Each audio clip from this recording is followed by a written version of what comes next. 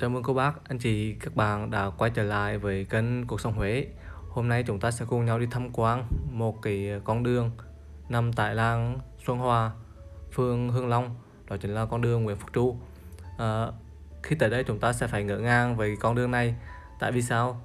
À, con đường này là một trong những con đường nó nằm rất là gần trung tâm thành phố, chỉ mất tầm khoảng 10 đến 15 uh, à, phút đi đường thì chúng ta đã đến được cái ngôi làng này vì nhưng mà đến đây không phải là thấy những cảnh phố xá đông vui mà tới đây chúng ta lại nhìn được cái khung cảnh làng quê giữa khu vực này.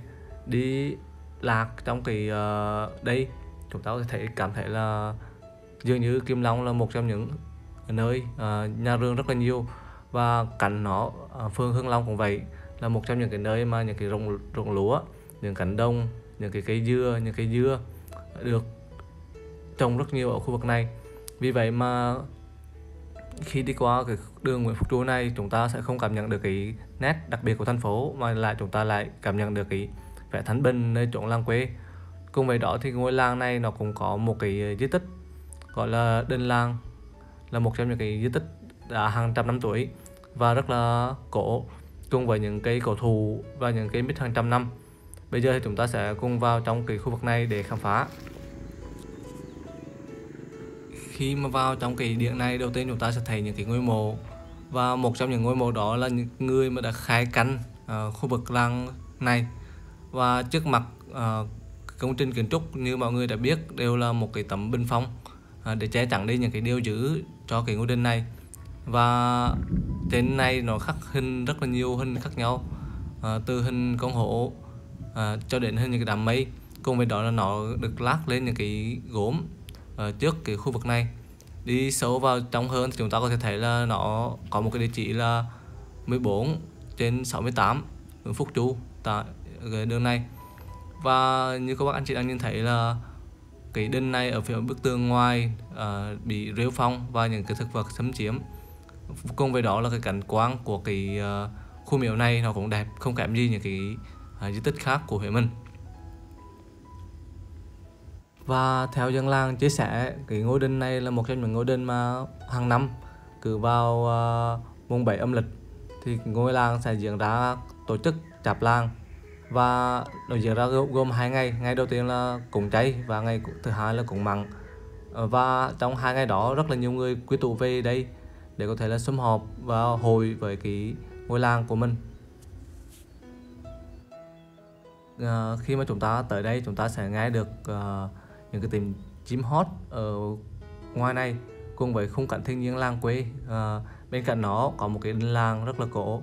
Bây giờ thì thành cùng cô bác anh chị sẽ theo chân của một cái cô nông dân ở đây để là biết thêm thông tin về cái ngôi đình làng này. Cái này phải uh, từ thời chủ Nguyễn chứ? Ừ, lâu rồi cái hồi xưa một chuyện nó chứ không phải cái mấy cái cây tệ mấy cái công rong đấy là xuống cấp luôn tệ mấy cái đồ vắng đấy nữa đây. mấy cái này mình định trung dự định trung tu lại không?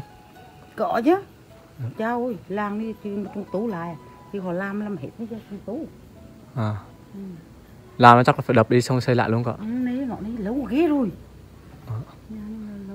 con đi ngang qua thấy à. đường đẹp quá. Con đi dạo kim long. Con à. nghe nói kim long là nổi tiếng nha rương lắm.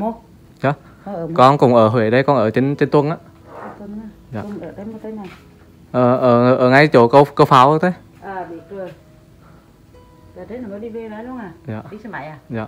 Xe máy là mua rồi. Xe máy đang để ngoài thế. Ừ, để là cái mua để là đủ chìa khóa nè. Dạ. ừ. cô là một trong những người cắn đinh ở khu vực này. À, có hai người à, một cô và một chủ nữa. Nếu mà chủ về thì cô ở lại để cắn đinh. Cùng với công việc canh đinh thì cô cũng canh tác uh, những cái cây bắp cây ngô tại khu vực uh, đinh làng mình ruộng cái làm gì dạ. Ừ đây làm ruộng. Làm bắp nó đi bữa nay tạm bàn sạch sẽ đi để mua bắp lên là tốt lại à. Tốt cũng phải gì té bảo vào rồi gãi thế bị nát té thuộc cái cổ thú này dễ sợ lắm. Ố đi chẳng à, mấy cái trước kia to lắm à? Kia té to lắm. Té ngọ cái trước có bị té wow. Đó. À. vài bữa xanh lại chứ. Mà cái mít chấm cái tế mà nó gãy đưa vô đánh một cái cái chỗ cái tù đi đi chỗ uh, âm lính nữa gãy luôn bể à. tù luôn. Trong thời gian vừa rồi thì đền làng có bị uh, trộm những cái tấm hình phi. Vì vậy mà người dân khá là cảnh giác với cái việc mà người lạ đi tham quan vào khu vực làng của mình. Cái chỗ ngoài đường quán nữa bữa trước cái thằng ở phố mẫu thằng lấy được là 13 tấm 13 tấm bức liện bức liện té cầu kinh. À cái tấm hoan phi đúng không hoan phi chắc hẳn mà đắng bằng chợ được rồi rồi mà công an điều tra. Mà lại là được chứ. Làng trong hòa này là dứt luôn. Điều tra là ba ngày là ra rồi có ba ngày ba ra. Bây giờ ông thầy lấy lấy gì đó. À. trên trên uh, tấm hoan phi nào mới hay là cổ rồi đồ nữa cả tắm nắm rồi á. Ôi trời ơi chỉ còn 10 tuần mà ngoài làng á thầy. Rồi đang lấy. Ừ, lấy. Cái đây đã có cái bức nữa này lấy cái bức này cái đây đã có bức này lấy này đấy tên treo trên mấy cái chữ chữ nữa chứ nữa à mấy chữ bức chữ này này. À giống như cái bức này đúng không? À, bức này là đều đẹp ở đây mình lấy rồi. Ừ. bữa trưa đi tham quan nhiều nơi lắm. À, đi qua kim long đi quanh quanh thấy ngoài kia đẹp. Lâu, lâu Ê mà cái gỗ này chắc cũng cái này thì o a cho chiếu xính vậy à. một cái chuỗi mà cái chuỗi có đây một cái chuỗi của mình là làm chuỗi tôm mà họ là làm chuỗi gỗ chứ à, hai cái da đẹp này làm gỗ hai cái đó là chuỗi gỗ muốn chạy nước là nó được biết là hiểu làm mà không chảy nước luôn đúng không? Không, chảy nước mua trên mãi đây đổ xuống mãi đi đổ về. Wow, tính sao? chảy nước. À à. Là là cái cái cái, cái này là nước, giống như là cái mảng nước. Cái để hứng hái ra đổ đây này. À. Hay. Bởi đi tới ai ai cần tới đây mà lấy cái chi là có số điện thoại này. À. Điện thoại là on này. Mà tưởng mà có trong là có chi cắt á. Không có có phương việc chỉ là mình dọn dẹp thôi, mình chui dọn. Cái định yêu để thêm vài chục năm nữa thành uh đền làng di tích. Đền làng di tích Việt Nam mình. Lũ ghê luôn đó nó cái cái cái cái số gì là biết cái số mà. Họ làm phiếu tô chứ đâu. Vì là số gì mình là làm phiếu gỗ mình làm trước kia. nó làm có chạy mà nó. Mình chỉ tới đi mình chỉ lùi được rồi. Đó. Đấy trước kia là bây giờ thì mình làm bằng nhôm bằng sắt thời xưa. Mà nhôm sắt mà gỗ. Dạ thời, thời xưa thì làm bằng gỗ. Ê, hồi xưa làm gỗ hết bằng gỗ nó tốt. À, gỗ đi chắc gỗ lim có hay xến không biết cổ chứ điều từ cổ đều toàn của cổ dạ. con mà nó biết ta chứ nhưng mà có ai bố không hiểu ừ, nhưng mà có ai không hiểu thì thôi giờ tôi chỉ kéo được tiền một tết dạ. Đấy một lần cháu với chạy video ngoài nó ấm lính trúng đi làm miệu ngoài tế là làng. Ừ. ngoài làng là ngoài tế làng còn đây là miệu đây ấm lính. Dẫu cuộc sống Huế là người lạ đi thăm quan làng nhưng mà cô bác anh chị khu vực này thấy mình hiểu kỳ về ngôi làng này thì cũng chia sẻ rất nhiều về cái thông tin tại đây. Và Di cũng chia sẻ là trong năm vừa rồi thì cũng có một cặp người Tây à, rất là hiểu kỳ về cái di tích này. À, cái con cái đinh làng này nó nằm khá gần với là di tích chùa Thiên Mụ. Và cái chùa Thiên Mụ là một trong những di tích mà nhiều người biết rồi. Vì vậy họ muốn tìm thêm tham quan thêm những cái địa điểm mà đẹp tại khu vực này. Thì hai cặp vợ chồng người Tây đó đã đi vào trong cái đền làng và đứng quan sát cái đền này mất 2 tiếng đồng hồ. Đó chứng tỏ rằng đây là một trong những cái nơi mà thu hút à, rất là nhiều người nếu mà họ biết được. Tại vì khu vực này không chỉ là nằm nơi cái làng quê đẹp đâu mà nó còn có những cái di tích à, cổ xưa như thế này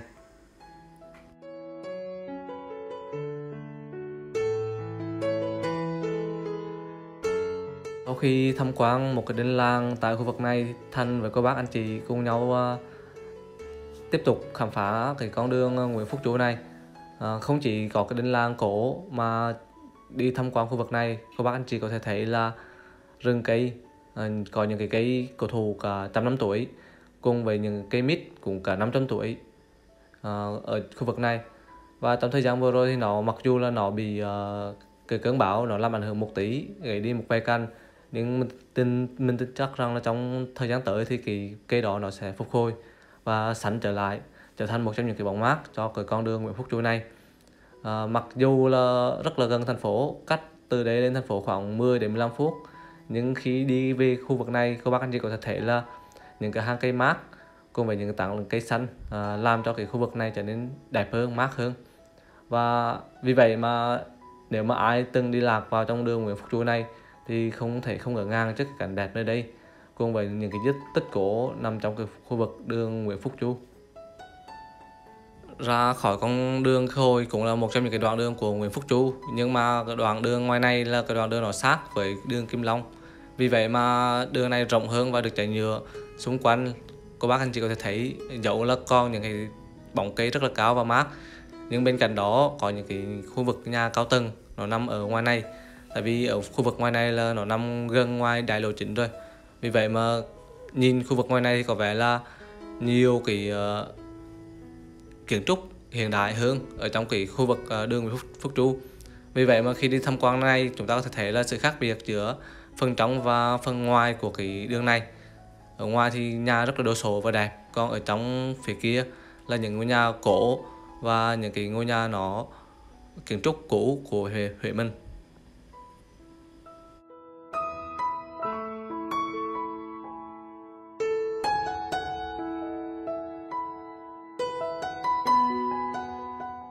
Bây giờ thì cuộc sống Huế đang đi vào một cái ngõ khác của cái con đường Nguyễn Phúc Chu để cho các bác anh chị có thể thấy ờ, được toàn bộ cái con đường không chỉ là có những con đường dẫn vào cái lối của khu vực uh, điện khu vực uh, đình làng không chỉ có những cái lối dẫn ra khu vực của sông Hương mà cái con đường này nó còn uh, dẫn tiến thẳng tới một cái ngôi chùa rất là nổi tiếng của Huế của mình đó chính là chùa Phước Duyên.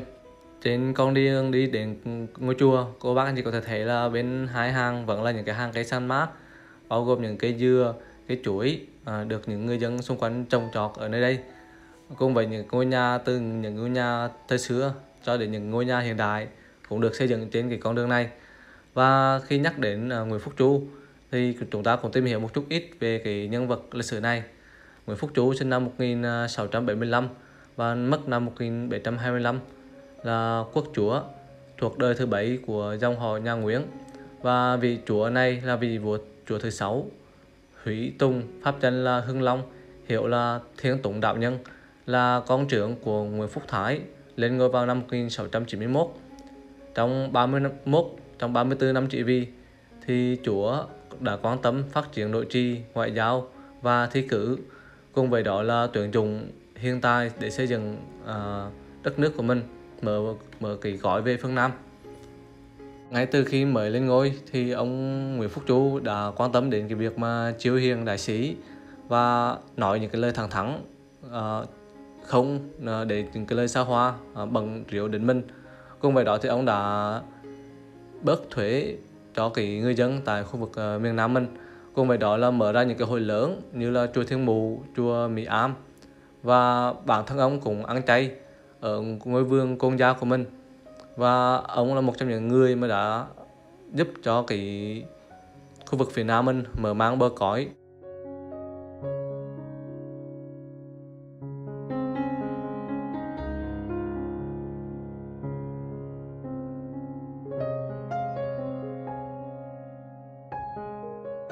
Khi đi ngang đoạn này chúng ta có thể thấy là một cái cánh đồng hiện ra thay vì là một cái cánh rừng như khôi. Thì khu vực này cũng là một trong những khu vực mà người dân canh tác ruộng lúa rất là nhiều.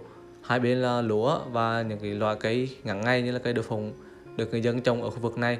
Và phía bên tay phải của bác anh chị là có một cái con kênh uh, làm điều hòa mát cái khu vực này. Thì con kênh đó cung gốc cũng là một nhánh sông của sông Hương chảy vào khu vực ở đây và đi đến đoạn cuối kiểu của con đường này chúng ta sẽ đến một cái ngôi chùa đó chính là chùa Phước Duyên của Huế Minh. À, một ngôi chùa được xây dựng và với quy mô rất là lớn và theo dòng lịch sử của thời gian. Đây là một trong những ngôi chùa mà theo hệ phái Bắc Tông với phong cảnh hữu tình và những cái dấu ấn hào hùng về lịch sử. À, ở tu viện Phước Duyên này nó có một trở thành một trong những cái địa điểm mà nhiều người hay ghé chân tại khu vực này vì thế mà mỗi lần chúng ta đi ngang qua đây chúng ta có thể là băng qua đường Nguyễn Phúc Chu để có thể là tới cái uh, ngôi chùa này.